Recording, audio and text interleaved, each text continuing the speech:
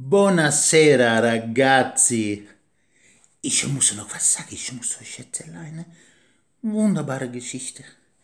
Ist es so, kommt domani Besuch. Aber nix, äh, jedermann sagte man, glaube ich, in Tedesco. No, no, no, no, no. Kommt Besuch aus einem Lande.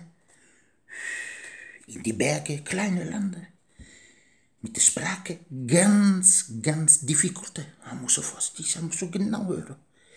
Die spreche in die Lande, spreche die Italiano, bene, ich bin natürlich glücklich, ich spreche Italiano. Französisch, okay, kenne ich anders, aber das will ich jetzt nicht erklären. No, no, no, no, no. Spreche Deutsch, Tedesco und dann, hm, what else? Ist nix einfach Sprache? Schweizerdeutsche. Ist es so wie Ricola mit als ganz schlimm.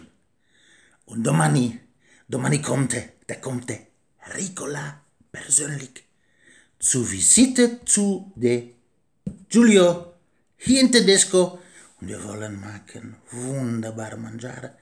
Er möchte Maultäschle. Maultäschle. Und da fahren wir sofort hm? Michaelisberge und da kaufen wir Maultäschle und der Rest domani. Grazie. See you domani.